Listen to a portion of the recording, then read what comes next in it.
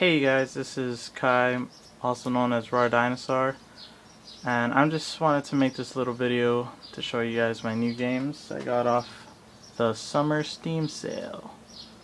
So, I mean, not all of these are new, but I got a bunch of games. The only problem is I don't have much people to play them with.